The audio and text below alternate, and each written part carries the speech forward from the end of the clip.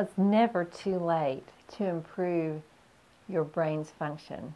Hi, I'm Dr. Debbie Ozment. Thank you for joining me for Friday Food for Thought. Well, we know that the brain is only weighs about three pounds, but it's necessary for every function in the body. I call it the ultimate organ. And you know, you see these pink models, these pink rubbery models of the brain, but the brain actually is amazingly soft. Uh, our brains are composed primarily of fats and water, with about 85% being water.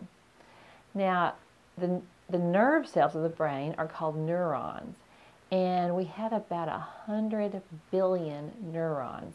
We want to keep those neurons all firing, uh, if at all possible.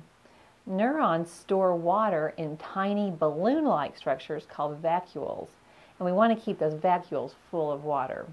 The vacuoles hold the water so to maintain the tone of the nerve cells to increase the speed of, of nerve transmission, of information that goes back and forth to your body, whether you're thinking about something, whether you're talking or whether you're moving or whatever you're doing.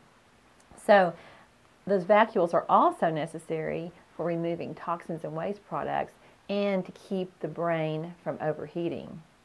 So that's why even mild dehydration can make you feel tired, can make you grouchy, can make you dizzy, and it just really uh, cause you to not think as clearly as possible. Mild dehydration is when your uh, body stores of water are just down one one and a half percent. So it doesn't take much to get dehydrated. And thirst is not a good indicator of dehydration. Your thirst receptors don't kick in until you're 1 to 2% uh, dehydrated. And for those of us middle aged or older, then um, we lose we lose a lot of our ability to detect thirst. Those those uh, thirst receptors naturally decline with age. The Center for Disease Control defines a low water intake as less than four cups of pure water a day, and Mayo Clinic has determined that most Americans, well, more than half of Americans, don't drink even four cups a day. So you can check your status.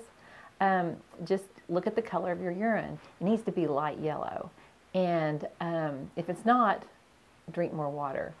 Just gauge what you're doing. You want your brain to work its best, and the brain is the ultimate organ, and water is the ultimate nutrient.